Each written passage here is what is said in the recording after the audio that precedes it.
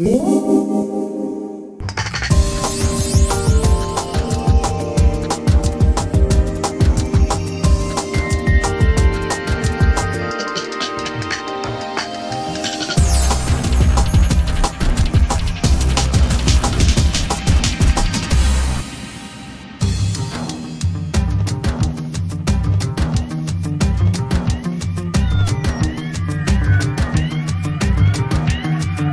Thank you.